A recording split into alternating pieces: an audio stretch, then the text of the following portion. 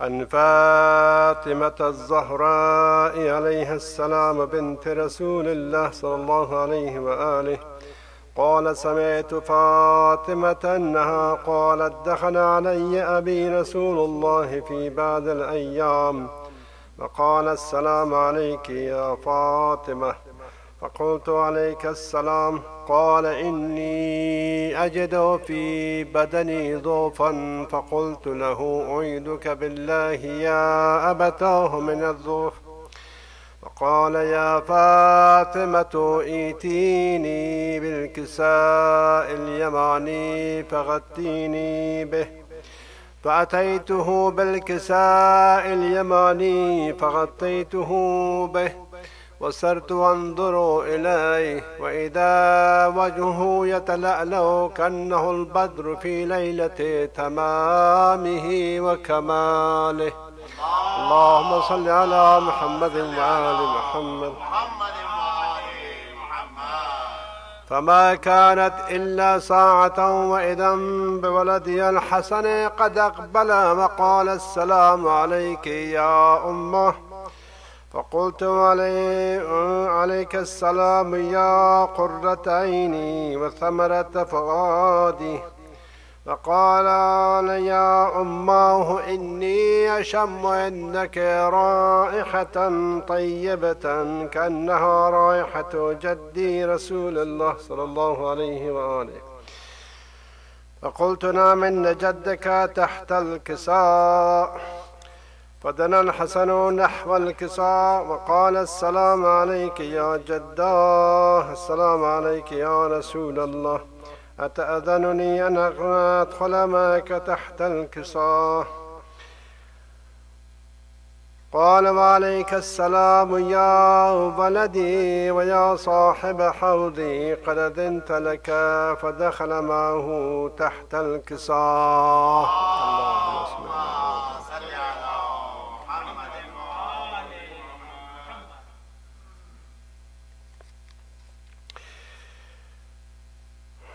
فإذا فما كانت إلا ساعة وإذا بولد الحسين قد أقبل وقال السلام عليك يا أمه. فقلت وعليك السلام يا ولدي ويا قرة عيني وثمرة فؤادي. فقال يا فقال لي يا أماه إني أشم عندك رائحة طيبة كأنها رائحة جدي رسول الله صلى الله عليه وآله. فقلت نعم إن جدك وأخاك تحت الكساء. فدنا الحسين نحو الكساء. وقال السلام عليك يا جداه. السلام عليك يا من اختاره الله. أتأذن لي أن أدخل معكما تحت الكساء؟ اللهم صل على محمد. فقال وعليك السلام يا ولدي ويا شافع أمتي قد أذنت لك فدخل معهما تحت الكساء. اللهم صل على محمد وآل محمد. أقبل عند ذلك أبو الحسن علي بن أبي طالب عليهما السلام. وقال السلام عليك يا بنت رسول الله. وقلت وعليك السلام يا أبا الحسن ويا أمير المؤمنين. فقال يا فاطمة إني أشم عندك رائحة طيبة كأنها رائحة أخي وابن عمي رسول الله صلى الله عليه وآله. فقلت نعم ها هو مع ولديك تحت الكساء فأقبل علي نحو الكساء وقال السلام عليك يا رسول الله. أتأذن لي أن أكون معكم تحت الكساء؟ قال له عليك السلام يا أخي ويا وصي وخليفتي وصاحب لبائي. قد أذنت لك فدخل علي تحت الكساء. اللهم صل على محمد وآل محمد. ثم أتيت نحو الكساء وقلت السلام عليك يا أبتاه يا رسول الله. أتأذن لي أن أكون معكم تحت الكساء؟ قال وعليك السلام يا بنتي ويا بدعتي قد أذنت لك فدخلت تحت الكساء. اللهم صل على محمد وآل محمد.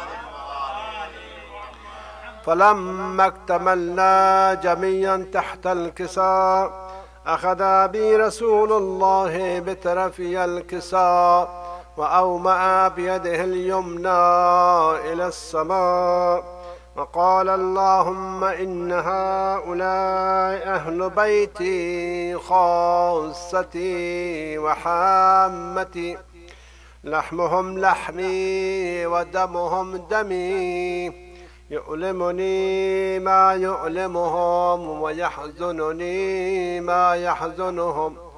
أنا حرب لمن حاربهم وسلم لمن سالمهم. وعدو لمن آذاهم ومحب لمن أحبهم. إنهم مني وأنا منهم. فاجعل صلواتك وبركاتك ورحمتك وغفرانك ورضوانك علي وعليهم.